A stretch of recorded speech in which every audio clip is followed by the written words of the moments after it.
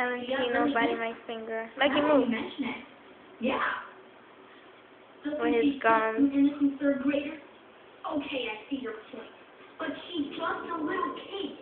Where would she have learned to clown people like that?